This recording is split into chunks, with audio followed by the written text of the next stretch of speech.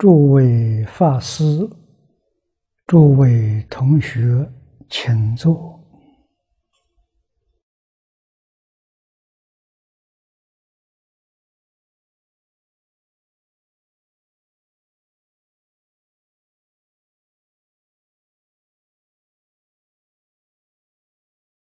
今天我们接着看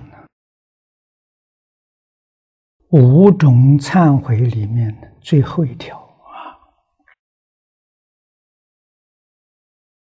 身心因果，知佛不灭，所作为因，感报为果，为若信。因果不虚，则无造恶之过；若知法身常住，则无断灭之见。是皆忏悔也。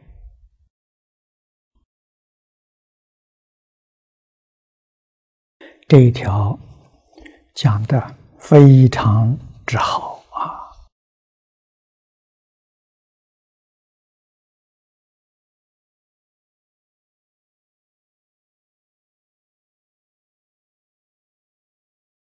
因果的道理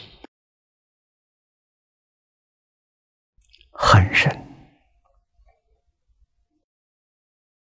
因果的事项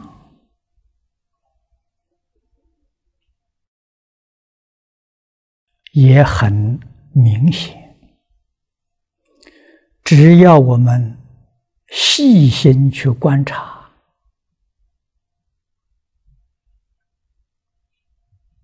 你就能够明了。善因善果，恶因恶报，知佛不灭，佛是讲的自信。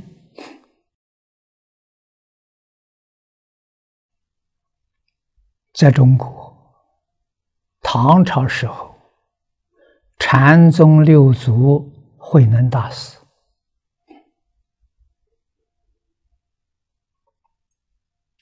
在他见信的时候，向五祖忍和尚提出了报告。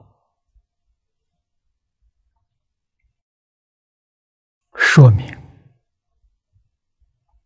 见性的样子，